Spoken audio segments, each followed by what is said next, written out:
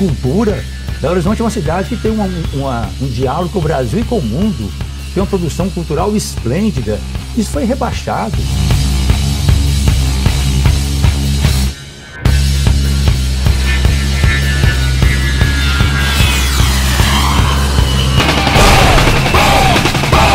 Sessenta e cinco por cento das crianças de 0 a 3 anos não estão sendo atendidas em creches em Belo Horizonte hoje.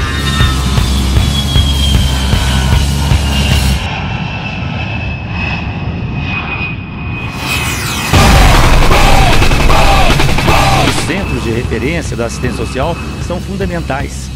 Uma criança na escola não aprende sem ter saúde.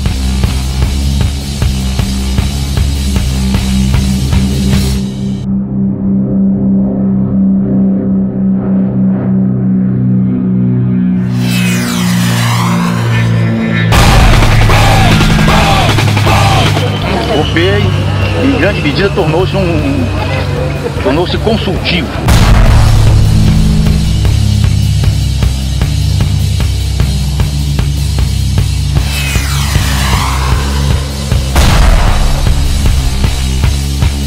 A questão da mobilidade urbana tem que ser vista de uma forma conjunta. Primeiro, nós temos algumas obras estruturantes que precisam ser feitas e que não foram enfrentadas pelo atual prefeito.